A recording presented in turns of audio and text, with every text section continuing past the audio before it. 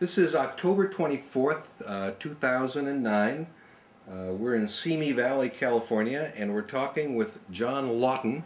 Uh, John retired as general manager of the Metropolitan Water District of Southern California, uh, very involved in Colorado River issues at the time. John, thank you very much for uh, taking part in this oral history project for the Colorado River Board. My pleasure. Uh, and I, we probably need to tell people right off the bat. Uh, you, uh, how old are you? I'm 90 something, 90, 96 it says over there. 96 it says over there. And you retired from Metropolitan Water District uh, when? Well, must be 30 some years ago. Yeah, I, I want to say uh, late 1970s, 78 or 79 if I recall correctly. Uh, is that too late? Was it before? 79 is too late. It was before 79. Okay, and, but and you were followed by Evan Griffith at uh, MWD, Right. right? Well, let me ask you, uh, John. Uh, let's go way, way back uh, when you uh, went to school, and uh, why did you decide to uh, become an attorney? Well, I went to school Glendale back in the. Gee, must be the set. Can't remember the year now. Well, that's right. Came to California in 27 1927. From where? from Pittsburgh, Pennsylvania, and uh, lived here ever since. In Glendale most of the time, and acted as city attorney for, I think Glendale for a few years, and then several years at Fresno. So you went from Glendale as a city attorney to City attorney. Fresno. I think went from Fresno to city attorney. I went from Glendale as assistant city attorney to Fresno as city attorney, and then back to Glendale. Oh, okay. And did you go from Glendale to Metropolitan, or were there other steps? It went.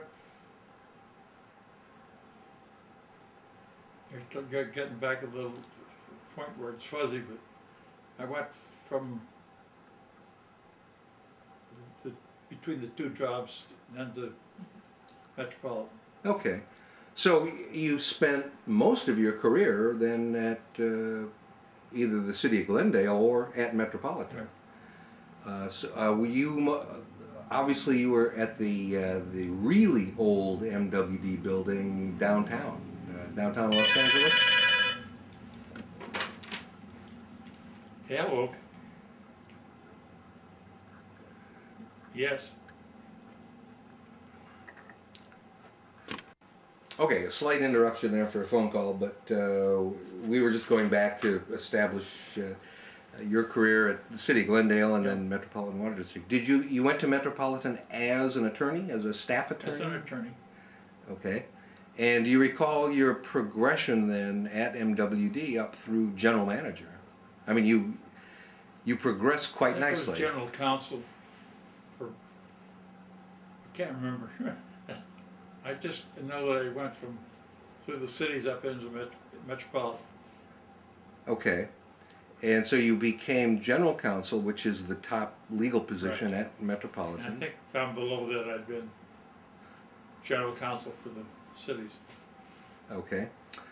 Um, uh, by the way, where did you go to law school? Just Full Hall of Law. Boalt Hall? Hall of Law. Okay, right, very good. Um, let's get down to uh, specifics then, uh, and I'd like to talk about your recollections while you were at Metropolitan of uh, Colorado River issues that were facing Metropolitan while you were there. And I'll, There I'll all sorts of, all sorts of issues, and I can't remember specifically any of the issues, but I, I, if you mentioned one, I probably, Okay, that's fine. Uh, one of the things that uh, uh, came up during the mid 1970s, um, around 1975, was water for a nuclear power plant out in the desert. Yeah. Uh, do you recall that and faintly, and what the concerns were at the time? No, I don't know what, all I know is that I, you built a power plant, you had to get it out of the cities and out of the city, there's lots, lots of water in the Metropolitan Water District system. And, so, that, to provide power, which was a primary source of energy for the cities, uh, we felt it was not no more than right that we provide the power for the cities. We're providing the water, provide the power. So uh, Metropolitan then was asked to provide water for cooling Right. for these power plants. And some of your early writings, uh, I discovered, indicated that uh, Southern California Edison was looking for about 40,000 acre feet of water from the Colorado River Aqueduct. And as that conversation was going on with Edison, the San Diego, uh, I'm sorry, the San Diego Gas and Electric Company and the LADWP also came Right. to you and said, hey, we need some water for power plants out in the desert as well. I remember all those things happened. Uh, and, and so you were looking at, at the time, you were looking at a demand of about a 100,000 acre feet of water off the river. Do you recall what your thoughts were at the time with regard to giving up that much water out in the desert? well, giving it up was for the benefit of the people who live in the our customers who live in the desert. Uh, you mean the customer, you mean MWD customers, but, but also power customers? Yeah. Um, well, let me ask you if you recall how comfortable you were giving up that much water. What, what, I wasn't I wasn't uncomfortable. I felt that was the most important important use of the water at the time. okay, that's that's fair enough. Um, now, there's a re- you also write.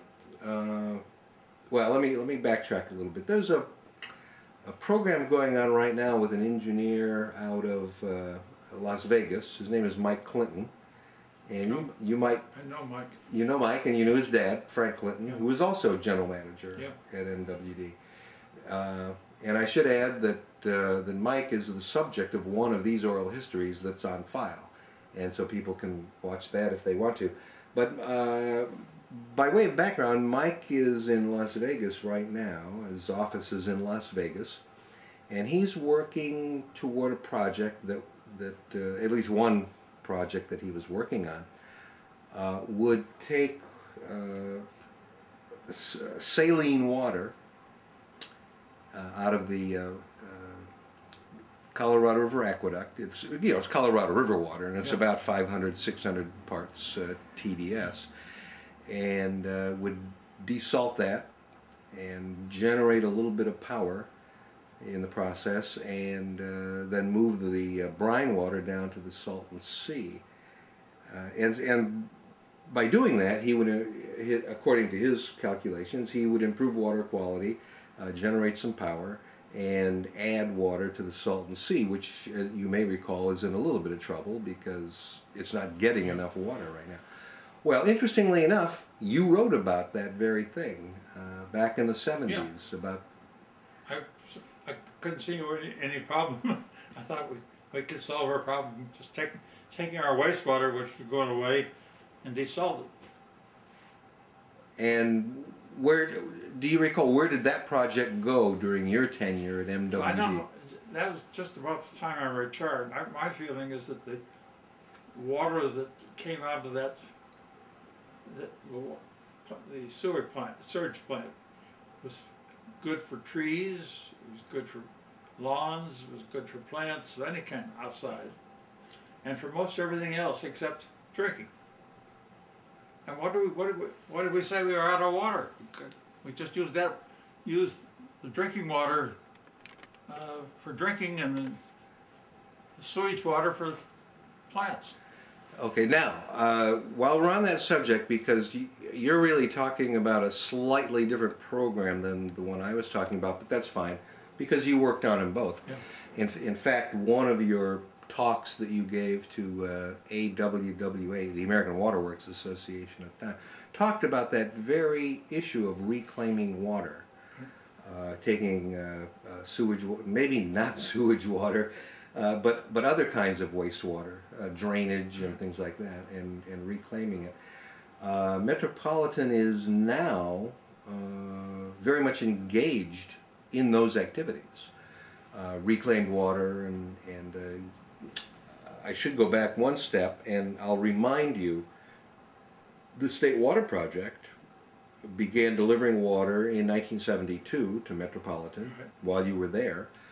And one of the first uses of State Water Project, uh, at least according to your writings, was a seawater barrier. State Water Project water was injected yeah. along the coast to repel ocean water from coming in and fouling uh, freshwater uh, basins in the in the area. And, and so you wrote, um, again uh, in the mid to late 70s, I don't know the exact date, but you wrote uh, that that would be a perfect use for reclaimed water. Yeah. Instead of using potable. That'd be, much better. You, it, what? you, you could, by using the water to re repel seawater, uh, you, are you're doing a great good. Now, Metropolitan started doing that during your tenure or after you left? Uh, I mean, just about after. I, at the time I left, that I'd been working on, and I said, "This is this is a good program." Okay, so that was really, I mean, that that program is really one of the things that you left at Metropolitan. Yeah.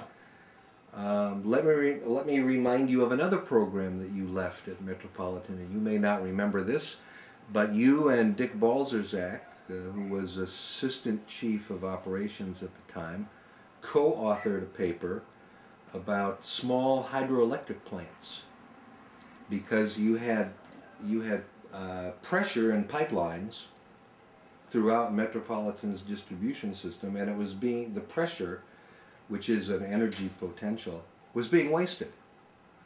And you and, and Dick wrote a paper about uh, installing small, and I mean small like, you know, maybe the size of your apartment here, to, to capture that power. Do you recall? Uh, I remember the subject generally, yeah. Uh, do you recall if, I, I don't believe any of those were built while you were there. Now let me think about that. There was one that went into operation in 1978 or 1979. I guess it would have been right after you retired. It was called the Gregg Avenue Power Plant. The which one? The Gregg Avenue Power Plant. It was in Burbank. And that was the first one of these small hydroelectric plants that MWD built. Do you recall that, or was that after you left? That must be after I left. Okay. So essentially, you and, and Dick and others. I mean, you, I mean, you and Dick co-wrote the paper, but I'm yeah. sure it was a, a team effort. Uh, so you guys came up with this thought that uh, that would be a, a heck of a thing to do. Well, as it turns out, just for your information, Metropolitan now has 15 of those small hydroelectric wow. plants uh, distributed throughout its uh, its whole service area. Um, so I that was uh, you know another concept that you and, and the team that was there while you were there uh, kind of pioneered. Um, not bad for a lawyer. Well, I was going to ask you about that. How does a lawyer, or how do you specifically, how do you transition from the law, I mean, being general counsel, and now you're in charge of, of a large water district distributes water and uh, treats it. And, uh, I mean, you're doing all kinds of things that have nothing to, little to do with the law. I, was a city attorney, and that was back my background. And uh, I, I guess when I was going to school, I had argued between going to law or engineering, and I couldn't when I looked at the choices, the cost of engineering was greater than law. You mean the tuition? it, just the cost to me, it was more costly to go to uh, Caltech or Boston, one in Boston, Uh, MIT or MIT. and so I selected law. I went to, to Boalt Hall Law in Berkeley, and that's how I got in. so you made an economic decision at the time. Yeah. Uh, but you always retained that interest in, Yeah. in the engineering side of things. I've always been, been interested in the engineering. Um, was that? Did you have any difficulties while you were at Met working with the engineers?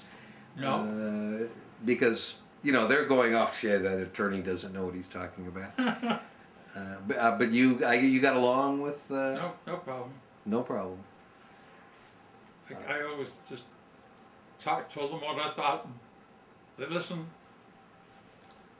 Well, when you think back over your career, do you consider yourself an attorney or a water guy?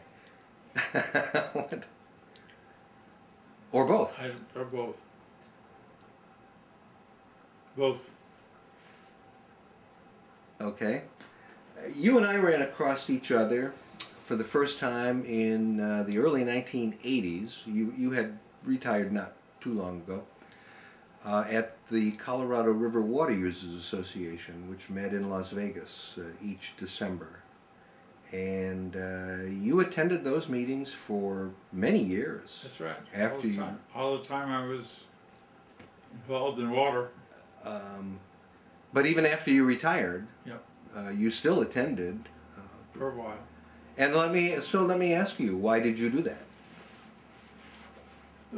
When you, get old, you, you, you don't have as much enthusiasm about moving from where you are to where the meetings are.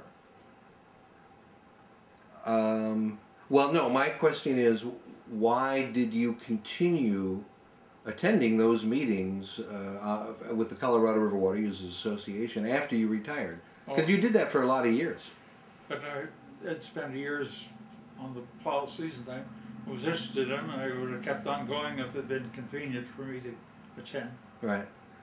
Um, did anything anything happen with regard to Colorado River issues after you retired that surprised you or or you thought wasn't a particularly good idea? I'll, give you a couple of thoughts. I mean, uh, after Evan Griffith left, then he was succeeded by Carl Boronkay Yeah.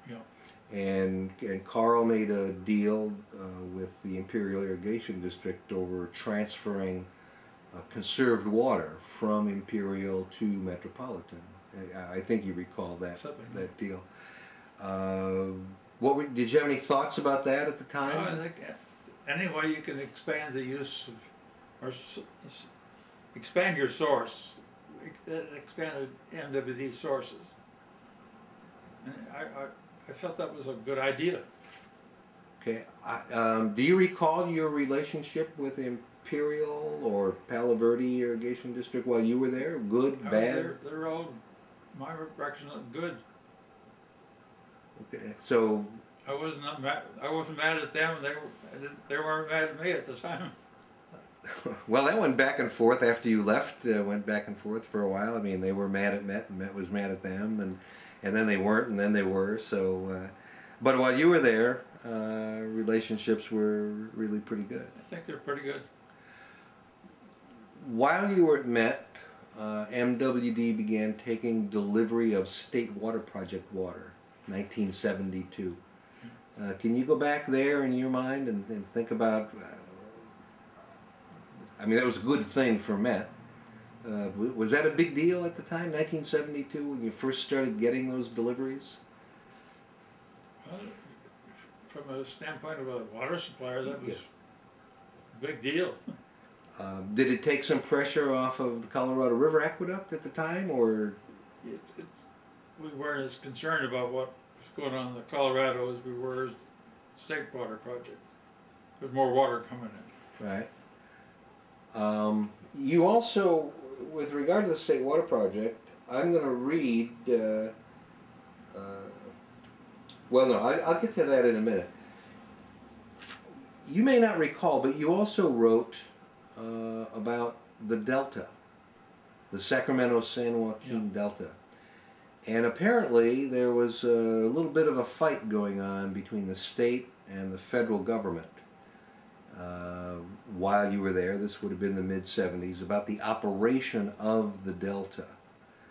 And some people were accusing the Bureau of Reclamation of destroying the Delta, and, and the state wanted to run all of the projects. Uh, You may recall there are two projects, two Yeah. large projects in the Delta. One is the Central Valley Project, which is the federal government, and the other one is the State Water Project, which is the state of California.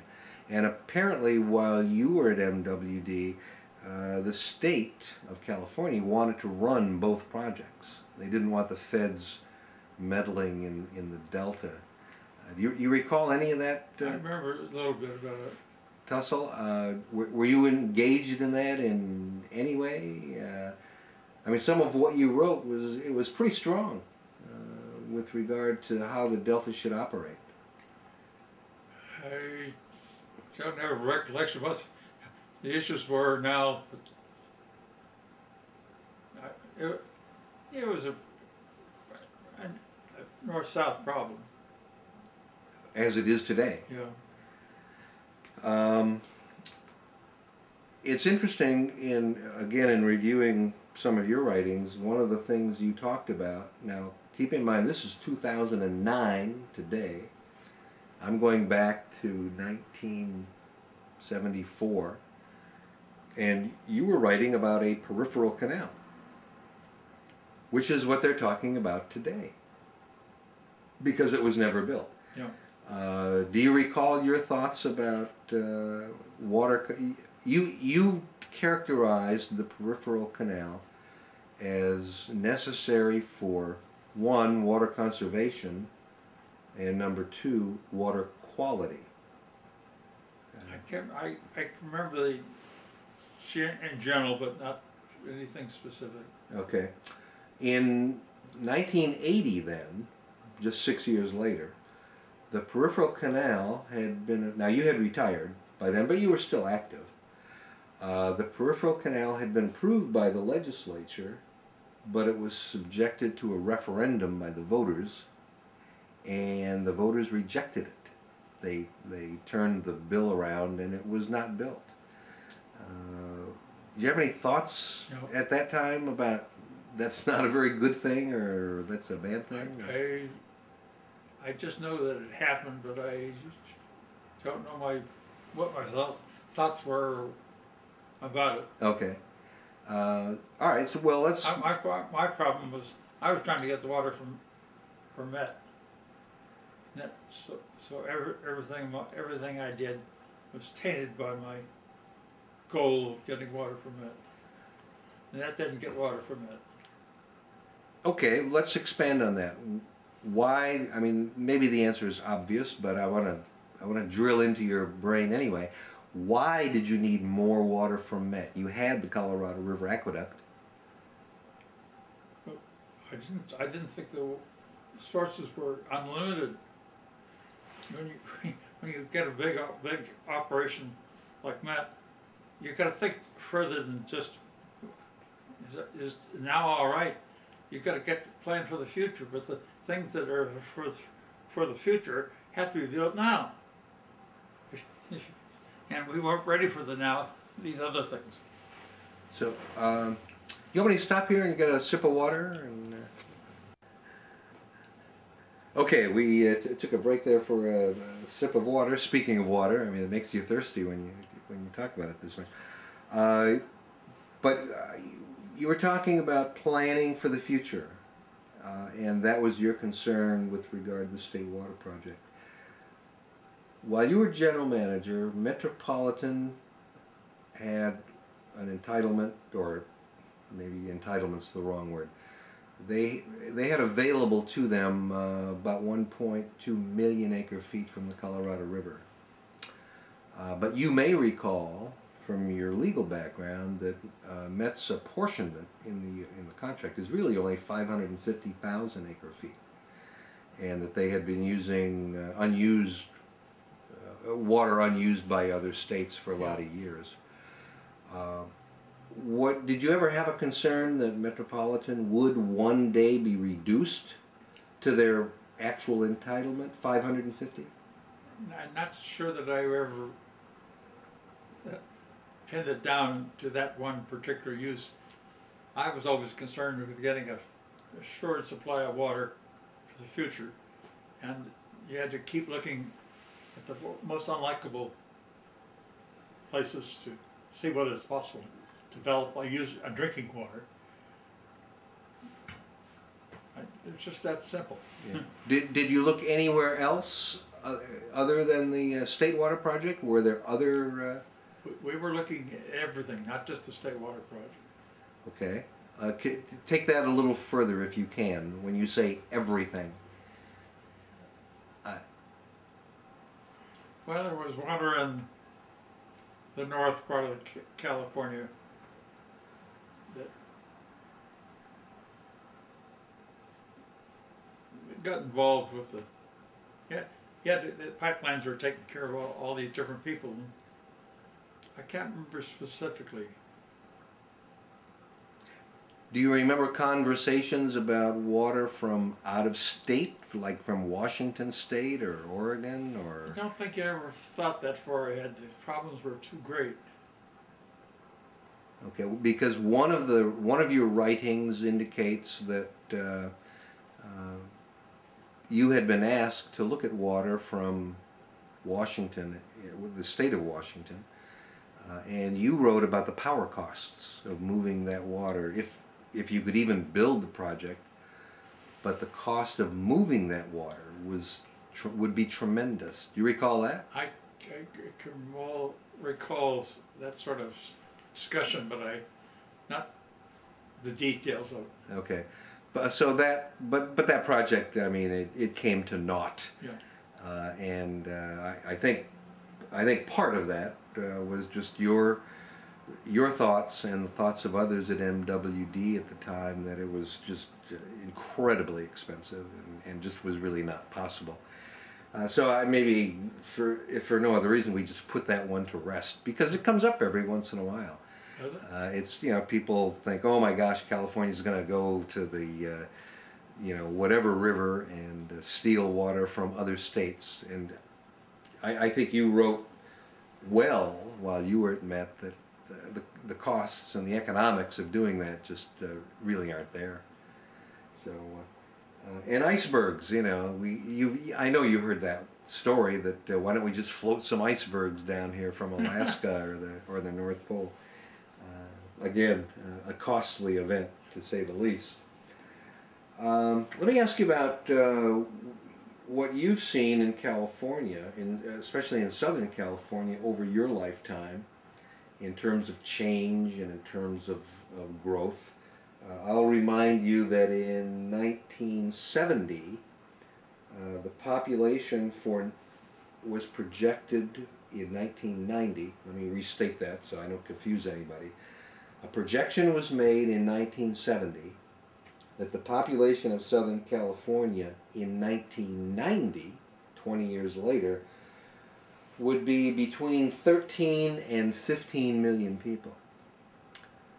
Um, that's some pretty substantial growth. Yeah. Uh, did you embrace those numbers in terms of looking for water supply, or did you think they were a little too high? Or I, I, I, was under the pressure to meet whatever demand might come up.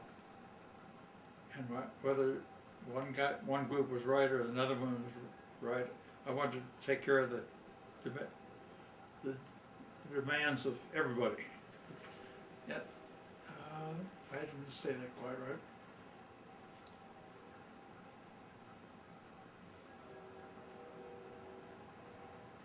Well, I just wanted to be able to take care of everybody and So I, I don't want to put words in your mouth, but but you would assume in putting together a water supply for everybody, you would probably assume the higher number, the higher population estimate, just to be on the safe side. Yeah. Uh, you would want to have provided water for the 15 million people that were expected to be Right. here in 1990. Um, so you, again, you weren't overly concerned about whether the numbers were right or wrong. You just wanted to make sure that there was enough water here for everyone. Right.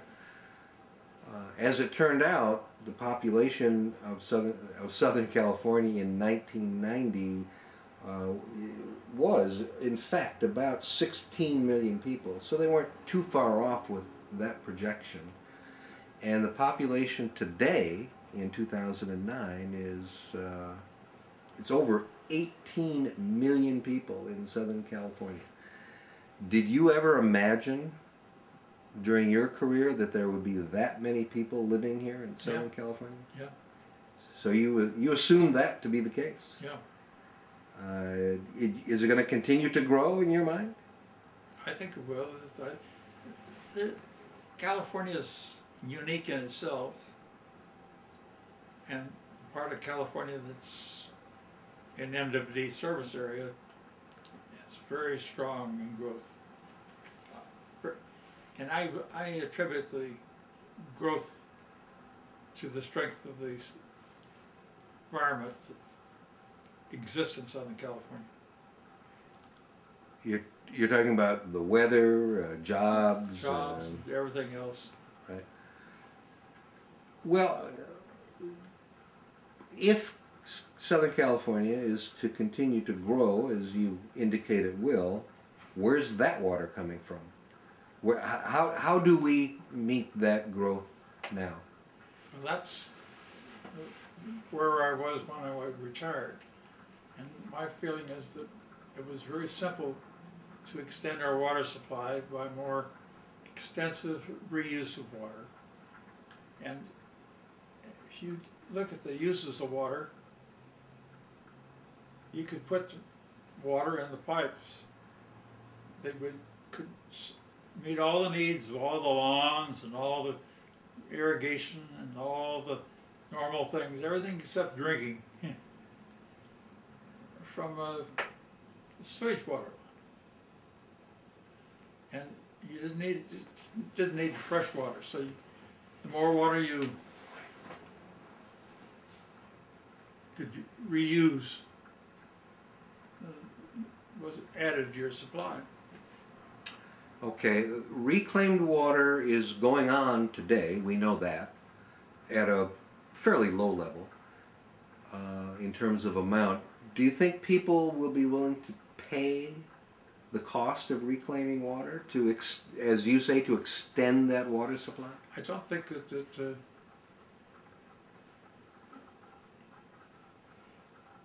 you're saying that they, they wouldn't be willing to pay anything. To, I think they would be willing to pay whatever it costs. Okay, because reclaimed water by its very nature tends to be more expensive than. Uh, It's more, but not that much more. Okay, so uh, putting on your prediction hat, uh, you you would expect, or or you would want, I suppose, reclaimed water to become a more important. Uh, I would think reclaimed water should be most important to the urban people who are using the water pri- primarily for drinking. And that if they can make reclaimed water available to do what they're now using drinking water for, uh, would extend our water supply. okay, well that, that makes a lot of sense. Um, let's change the subject just a little bit here to energy because it's it's related.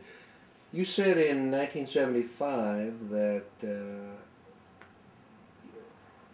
you were actually writing a, a counter argument to a member of the State Energy Commission in 1975, and that person said that uh, that the growth curves, as we just discussed, the growth curves were wrong and that energy conservation would be able to handle a lower level of growth that this person expected.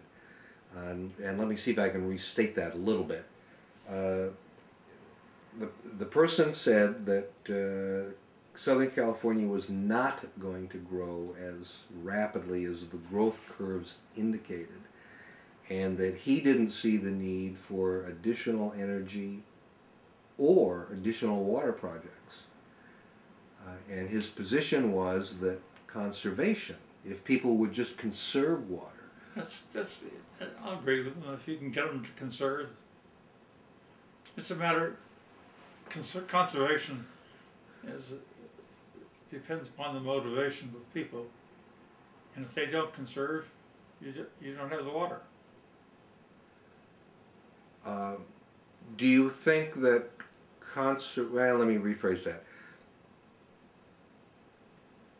Do you think that conservation would take care of all of the future demand or only a part of it? I suspect that the,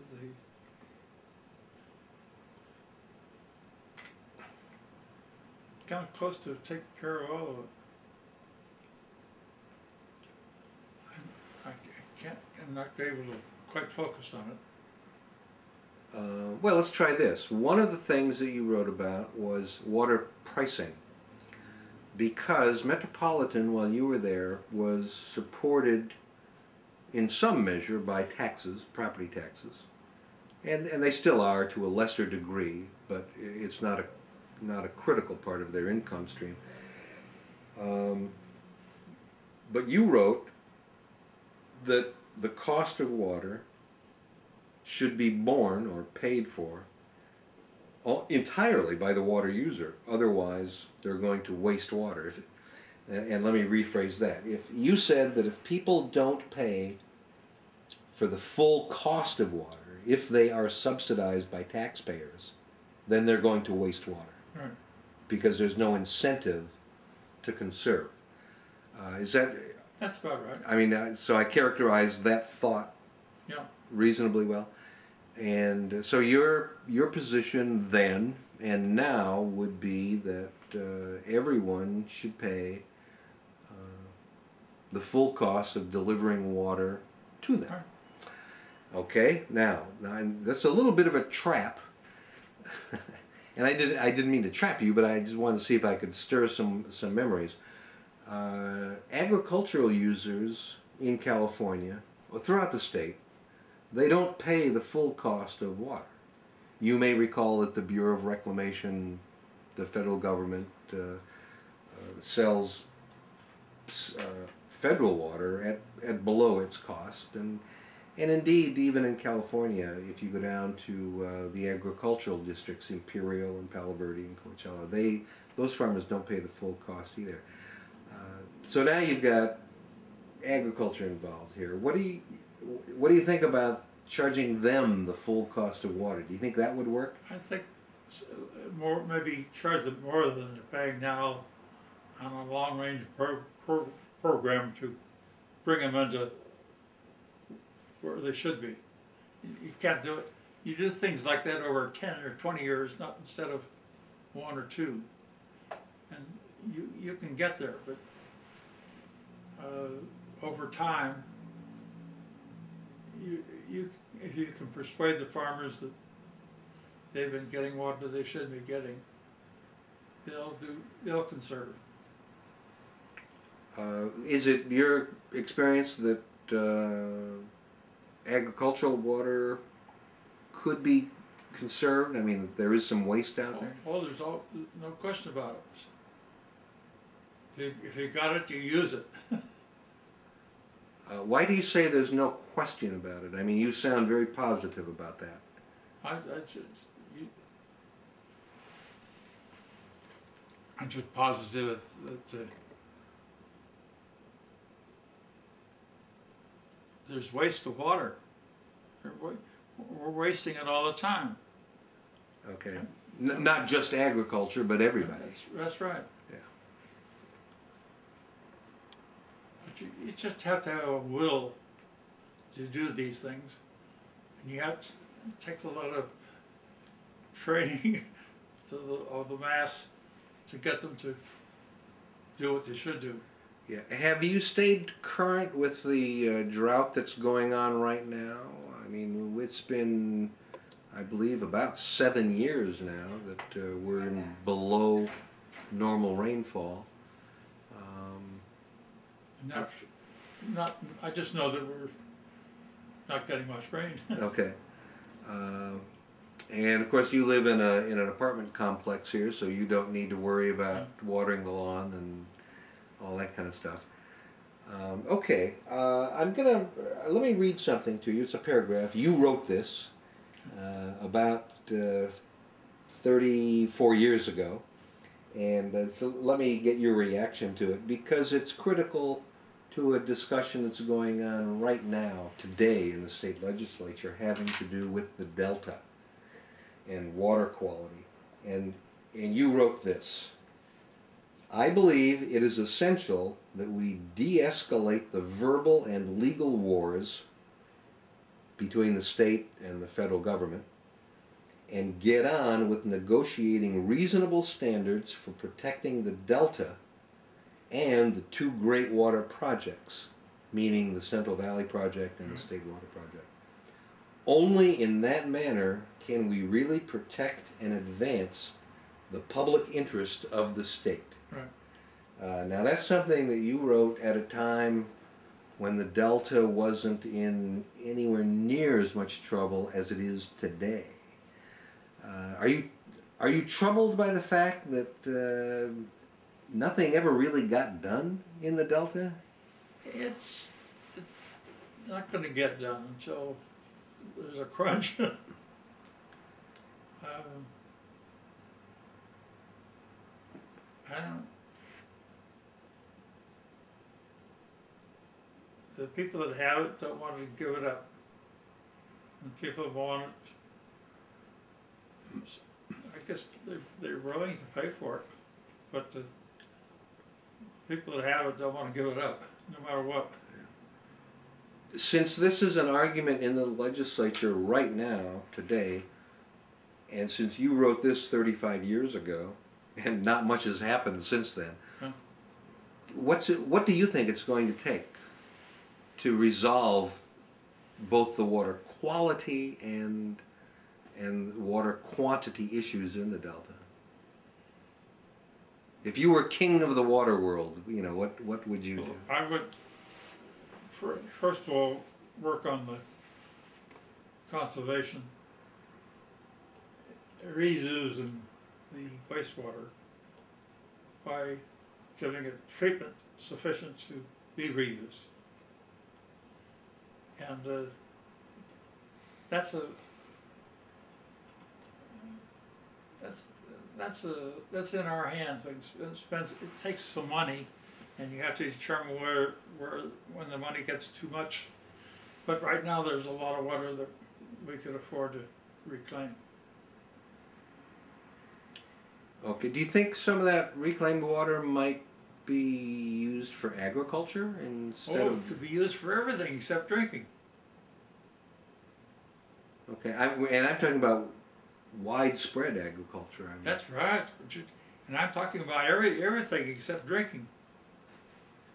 uh, one of the. I, I'm not sure that you were ever involved in this, so you know if you weren't, you weren't.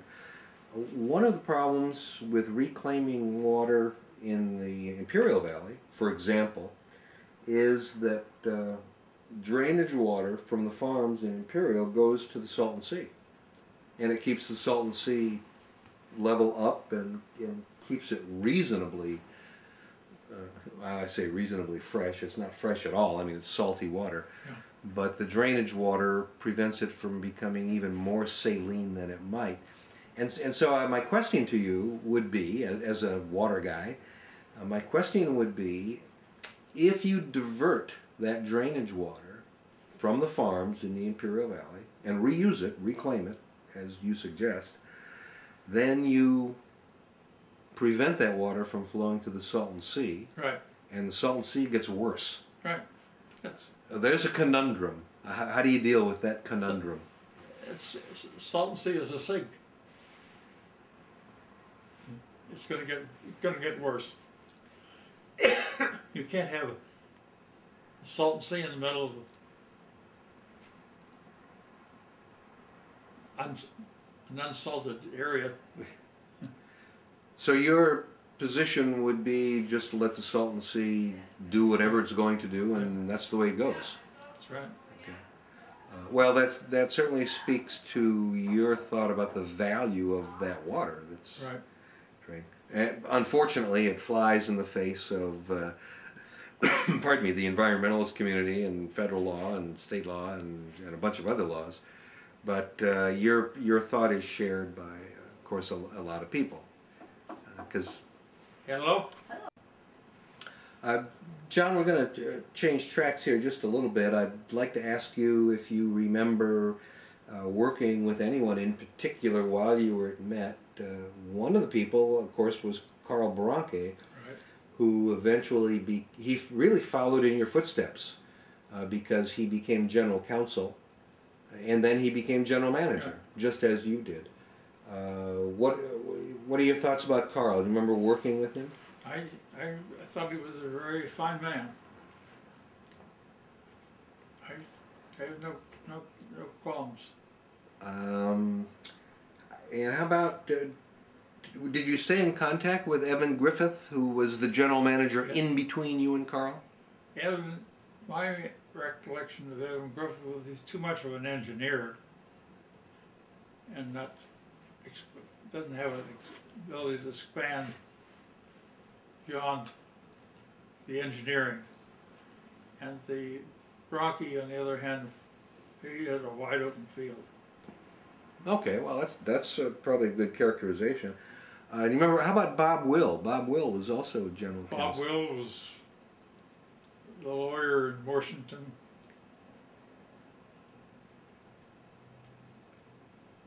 He was knowledgeable, and I suspect doing the job he was doing is very effective. I don't know whether much much about him. Okay.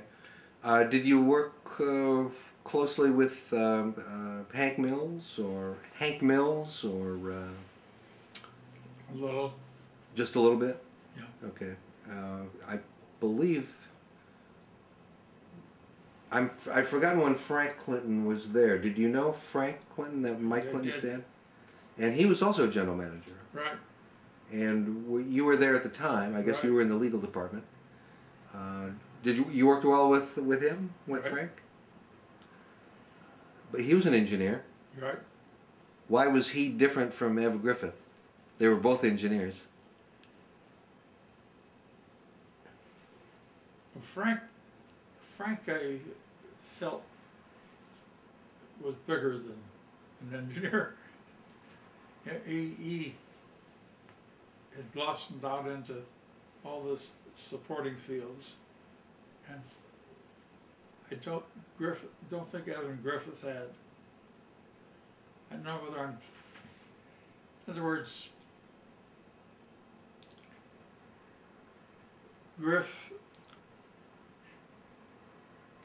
had not expanded to the same extent that Frank had. Okay. So so Frank Frank Clinton was just able to take a much broader view Right. of uh, what was going on. Uh, do you recall one of the important components of Metropolitan Water District is its board of directors, which was quite large when you were there. It's it's since been reduced. Uh, it's thirty six or thirty seven members now, and I think it was fifty or fifty one when you were there. Uh, do any of the members of the board uh, did, did it- did any members of the board leave a mark on you, leave an indelible mark on Now, you? I can't even remember who they were. Yeah, uh, I, I don't recall who would have been chairman. Uh, Earl Blais was Remember Earl? uh, from Burbank, Burbank. right? Uh, was he chairman of the board while you were there? Was Earl chairman of the board while you were there? Or He could have been. okay, uh, I think Lois Krieger was probably there. Right. You remember Lois? Yep. Uh, any? She was one. Of the, she was the first woman on the board, as I recall. Right. Any thoughts about her? I mean, do you remember your relationship with with Lois? I mean, as the first woman on the board. Right. and- Her husband Jim. Right. Okay. So, and so I mean, they were. It was probably a pretty good board while They you were were there. water people. Yeah. In okay. From the standpoint of the manager, it didn't bother me. So we got along fine. At least I think we did. Well, you you were successfully general manager, so I'm su there's something there that that uh, you got says that you got along with them well. Um, has anything um surprised you with regard to development on the Colorado River uh, over time? Uh, I mean, the, I'll just throw some some concepts out at you, and you see what you think. Uh, Imperial Irrigation District agreed to be quantified because when you were general manager, they were entitled to an unquantified amount of water. Uh, you know, I, I'll remind you that Palo Verde Irrigation District gets the first priority from the river, and then Imperial got the next priority after Palo Verde used however much it could use. And uh, recently, historically recently, uh, Imperial agreed to uh, accept a hard number, a quantified number as their entitlement, rather than an open-ended number. Did that did that surprise you, or No. I don't, I don't rem- rem- remember the issues that were involved there, that, that were going on along the, Think when you talk about the Colorado River, were talking about a whole bunch of things that are going on at once. uh, that's true? Did that give you fits while you were at, at Met, while you were GM? I mean, you got so many so many balls in the air at one time. No, it's just, you look at each one as how, how does that affect Met? How, does that affect Met? Okay, so I mean, that, clearly that was your That's right. Uh, how about the growth of Las Vegas and their water demand? The growth in Las Vegas, uh, did that has that surprised you that their, their water demands have gone up? No. There's, there's obviously a reason that people are in Las Vegas and when people go there, they, they need water. Okay, and you'd have, I presume, you'd have the same thoughts about Arizona, uh, because Metropolitan used Arizona's unused entitlement for a lot of years, and Arizona is now taking its full entitlement. I've never stopped to think about those entitlements encroaching. I never, I was never at a t- ha- ha- w- under a feeling that that Arizona's encroaching on Mets. So there's, for whatever reason, they may be a threat to us, but I didn't feel it was a great threat. Um, okay, and do you recall that uh, the Colorado is divided, uh, upper basin and lower basin? Yep. And each basin is entitled to seven and a half million acre feet of water. It's not quite that clean, but for our purposes, let's use those numbers. Uh, were you involved in any discussions with the upper basin while you were at MWD? I don't think so. There, there were going on, but I didn't get, get involved in them. Okay. So you're, I mean, you were focused on the lower basin's Right. seven and a half million, and then MWD's share of that seven and a half million. That was your your Right. focus. Okay. Uh, well, let me uh, just ask you a final question here. What have we forgotten to talk about, or, or what what in your memory is important? Uh, there there must be a few tidbits back there that uh, that come to your mind over your career at MWD. Uh, what didn't I ask, and and what uh, the purpose? Uh, and let me just put, get this on tape. I mean, the purpose of this tape is that future historians, attorneys, water people, whoever, uh, will have an opportunity to view this this video, and uh, they'll have a chance to see what was in your brain and all of the other people that we've done the oral histories of uh, while you were there, while you were in the water biz. Uh, and so my final question to you, I guess, is uh, what stands out to you as being really important either over the course of your career or with regard to providing water for Southern California? Well, all I, all I can say is that in order for Southern California to get water in an increasing portion of the water, we've got to be treating our water that we're using as, as carefully as the others are. In other words, they aren't conserving the water and we're using it. We're all conserving water and using it. That's, So you, that's, that's a simple. right. So I guess you, you would say then that really conservation is the key to at least Southern California's future, Right. okay? Anything else? Not that I can think of. Not that you can think of? Okay. Well, John, we'll call an end to this interview then. Uh, it's been about an hour, believe it or not, a very fast hour for me.